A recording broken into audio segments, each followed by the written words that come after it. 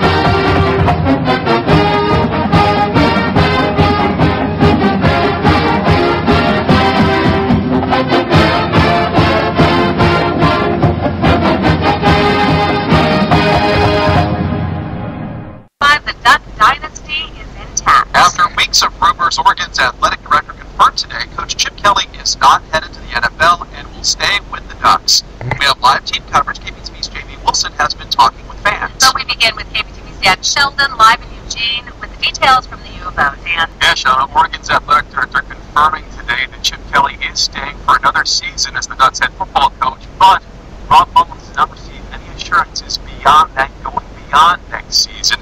Mullens says he felt like he was kept in the loop over the course of the weekend as NFL teams attempted to convince Kelly to make the jump to the pros. While Kelly was taking interviews, Mullens was preparing for the possibility of replacing him. He says the search would have included offensive coordinator Mark Helfrich as a candidate.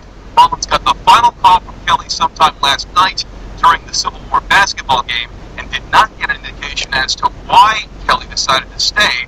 Mullens says contract renegotiation was not part of any conversation. He said, uh, I'm remaining at the University of Oregon.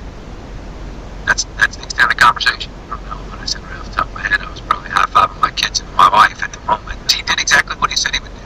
You know, he would, he would talk, he would gather all the information, and then he'd reflect and he'd make a decision. And that's exactly what he did. And uh, I appreciate the way he handled it. He kept me in the loop the entire time. And uh, I was pleased to get the call. Now, at a coach's convention in Nashville at the moment and then out recruiting after that. The next time you might hear from him is next month on National Signing Day for high school recruits. At the meantime, that doesn't necessarily mean this entire coaching staff will remain intact for next year. Well, more on that coming up at 6. We're now live in Eugene. Dan Sheldon, the 5 o'clock news. Okay, thanks, Dan. The good news spread quickly among Duck fans that Coach Kelly is staying put. That's right. KBTV's Jamie Wilson continues our team coverage, talking to fans. She joins us live from the Duck Store downtown. Hey, Jamie. That's right. Well, guys, we were just here last week talking to Duck fans about their big win in the Fiesta Bowl, and today it seems like they are celebrating another big victory now that Chip Kelly has decided to stick around. Last Thursday was a bittersweet day for Duck fans. They won the Fiesta Bowl, as you know, against Kansas State, but it also seemed pretty certain that that game was going to be Chip Kelly's swan song with the University of Oregon. But when fans heard today that in fact Kelly was not wooed by the NFL, they breathed a collective sigh of relief. Fans we talked to at the Duck store today say they think Kelly really loves his job and they look forward to his momentum carrying over into the next football season. It was not a shock, honestly, because I think that he thinks out of the box, and I think that he thinks of what you know what we as Oregonians love, and I think some of the innovation, some of the what goes on in Oregon, is the stuff that he really identifies with. I think Chip's a really good coach, and I think it's uh, it's neat that he's going to stick around for Oregon. Yeah, we're a bit disappointed in Beaver Nation that we have to keep uh, facing these tough teams down the road, but uh, he's done a great job, and it's neat that he's going to stay in the state of Oregon. And some of those fans also told us today they wonder if Phil Knight may have helped to sweeten the pot to keep Chip around for next season. Live in Northwest Portland tonight, Jamie Wilson, the 5 o'clock news. A Eugene born musician pleaded with Coach Kelly to stay in his own unique way. Chip, don't go, don't you go to Philly, Cleveland, or Buffalo. They don't have, have the heart or the church. Called Chip Don't Go, singer-songwriter Mat Kearney posted this video on YouTube Friday during the Fiesta Bowl after hearing the news that Kelly would be staying with the Ducks Kearney sent out a tweet saying that Kelly called him and told him he loved the song. Comfort within the spectrum of familiarity, coupled with the notion of the greatness of the situation, and his loyalty and commitment to finishing the mission he started, was the winning recipe for Oregon Ducks head coach Chip Kelly to spurn the NFL for the second consecutive year in order for him to remain in Eugene as the leader of the Quack Pack. The Oregon field boss had lengthy interview sessions over the weekend with both the Cleveland Browns and the Philadelphia Eagles. He even threw his hat in the ring to become the new head coach of the Buffalo Bills, a job that was eventually filled by Syracuse head coach and ex NFL assistant Doug Marrone. During the duration of the weekend, reports surfaced that he was close to deals with both teams. At one point, the rumor mill even suggested that he was leaning in favor of assuming control of the Eagles, who fired their longtime head coach, Andy Reid, after 14 years of service in the city of brotherly love. Reid was eventually snapped up four days later by the Kansas City Chiefs to replace Romeo Crennel after a 2 and 14 season. As for Kelly, in the end, home was where his heart was. Kelly has just completed his fourth season at the helm of the Ducks, which included a 12 and 1 record and a 35 to 17 drubbing of the Kansas State Wildcats in this year's Fiesta Bowl. He has led the team to four consecutive BCS Bowl berths. His resume includes an appearance in the 2011 BCS National Championship game, where the Ducks were victims of defeat at the hands of the Cam Newton led Auburn Tigers. A year later, Kelly and the Ducks rebounded as he guided his team to the winning side of the scoreboard in the 2012 Rose Bowl with a 45 38 victory over the Wisconsin Badgers. During his time in Eugene, Kelly has amassed a record of 46 and 7. Kelly's tango dance with the NFL mirrors the identical process that he endured a season ago when he flirted with the possibility of taking over the reins of the Tampa Bay Buccaneers before backing out of late negotiations to return to the college ranks. The Buccaneers eventually turned to ex-Rutgers head coach Greg Schiano to fill their coaching vacancy. Kelly still has five years remaining on his contract with Oregon, where he earned a base salary of $2.8 million last season. Michael Lombardi of the NFL Network joins this conversation to discuss the perception of Kelly around the NFL and where Cleveland and Philadelphia go from here in their coaching searches after he left them alone at the altar. Michael Lombardi has also been following the front office moves pretty closely the hires, the interviews, the speculation, and in the case of Chip Kelly, the rejections. This is two years now that he has talked to NFL teams and ultimately decided to stay at Oregon. Any idea what it is that's keeping him there? You know, it's the applause, Lindsay. I think really when you talk to a college coach, in the back of your mind, you have to know there's a good chance, a strong chance that he may not leave.